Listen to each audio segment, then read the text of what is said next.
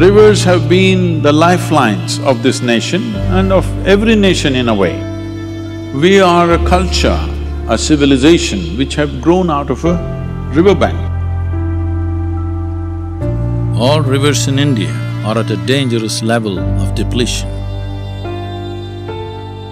That means, in another fifteen to twenty years' time, most of our rivers will be seasonal, they will not be perennial. If you just fly over India, you look down, you will see entire India looks like brown desert. All rivers are drying up like this. Krishna is not touching the ocean almost four months. Kaveri, two and a half months to three months, it doesn't touch the ocean. When rain comes, it floods, otherwise there is nothing. A river which has flown for million years, in one generation, if we kill it, யார் அறுபது வருஷம் ஆகுதுங்க எனக்கு ஒரு நாளையில் இப்படி காஞ்சி போனது தண்ணியெல்லாம் நிறைய வருது இவ்வளோ நாளைக்கு இப்படி காஞ்சி போச்சு And water scarcity in parts of Bihar's Lakhisarai district is forcing people to literally dig up a river in search of water. The last four to five years, the river has been almost drying up. With dams, wells, as well as rivers drying up in Jharkhand's Jamtara.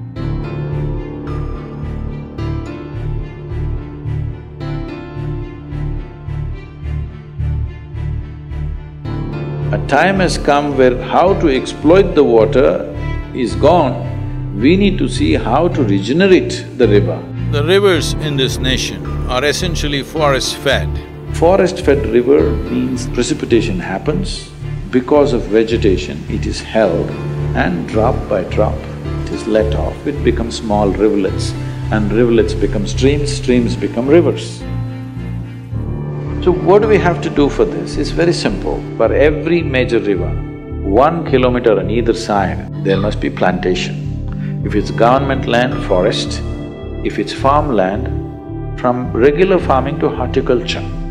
Very easily, we can enhance the farmer's income three to eight times in a matter of four to six years' time. The farmer will need support, economic and material support to go through this period and come out as a prosperous farmer. If this has to happen, we must make a policy, we must give them subsidy. It needs resolute political action, executive action is needed, policy. In the month of September, we are planning a river rally that is, I'm personally driving, covering sixteen states, having major events to create a very strong awareness in the country that the rivers of this nation are dying. This has to be done in a very organized way. Madhya Pradesh is the first state which responded to my call. मैं सदगुरु जी के पास बैठा था उनसे चर्चा हो रही थी तो उनने भी मुझे कहा कि शिवराज नर्मदा जी बचानी चाहिए और उसके लिए पेड़ लगाने का अभियान प्रारंभ होना चाहिए If our rivers deplete in our own lifetime, we are clearly making a statement that we are not interested in the future of our children. It is heartening to see today that all of you in great enthusiasm participating in this moment gives us confidence that we are not going to destroy this nation. For thousands of years, these rivers have embraced us and nourished us. A time has come when we have to embrace the river and nourish the river because the greatness of our nation depends upon the great rivers in our country. Well, those in central India have to walk for miles to get their glass of water. We have a population of 1.3 billion people. I want you to just look at this possibility.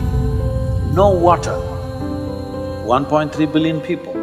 The civil strife that will happen. What will happen to human beings when there is no water to drink, you can forget about humanity. Something else will take force. Every human being consumes water, air, everything else, food, land, all of us consume, there's no choice about it. But when it comes to doing compensatory action, very few people are doing it. This is the disaster on the planet. Something so fundamental as water, if rivers stop flowing, large tracts of India will turn into graveyards. If we don't do the right things in the next ten years, fifteen years' time, it could be too late. If we successfully make this into a policy, this will be a landmark thing that's happened in the history of independent India. So this needs to be done right. In such a way, there's no ambiguity about whether it'll happen or not, it has to happen. This is once in a lifetime, not in our lives, once in a lifetime in a nation's life. I beseech all of you to participate in this in whatever way you can. When I say all of you, I mean everyone who consumes water. To have our rivers flowing, to leave this land rich and well is the best gift we can offer to the future generations of this nation. This is not a protest, this is not an agitation. This is a campaign to create awareness that our rivers are depleting. Everyone who consumes water must rally for rivers.